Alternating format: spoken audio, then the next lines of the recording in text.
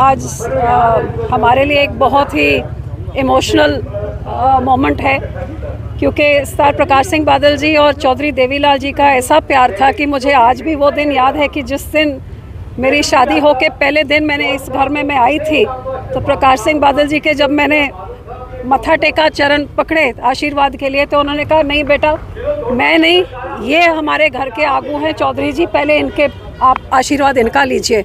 और हमेशा ये पहल, पहले ये करनी है। तो ऐसा उनका प्यार और आज मैं चौटाला परिवार का शुक्राना करती हूँ कि चौधरी साहब के साथ देवीलाल जी के साथ, बादल साहब का जो इतना प्यार था, उस प्यार का नमूना, एक हिंदू, सिख भाईचारे साँझ का नमूना, सद्भावना का नमूना, किसानों के, मजदूरों के हिंदुस्तान के दिलों जिसने सेवा करी, हर वर्ग की, गरीब की, आज ये प्रतिमा हमेशा आने वाली पीढ़ियों को एक संदेशा देगी और एक प्रेरणा का स्रोत बनेगी। मैं शुक्राना करती हूँ कि आज उनके जन्मदिन में ये इससे बड़ी श्रद्धांजलि उनके लिए नहीं हो सकती। बादल साहब और देवीलाल जी को पूरे हरियाणा और पंजाब का नेता नहीं माना जाता पूरे देश का नेता माना जाता था। जी जी। किसानों के मसीहा भी उनको कहा गया। बिल्कुल।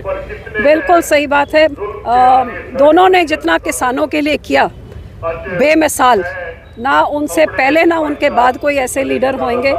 चौधरी देवीलाल जी तो देश के प्रधानमंत्री बन के भी उन्होंने इतनी बड़ी उन्होंने सेवा जो अदा की थी उसको कभी हम भूल नहीं सकते।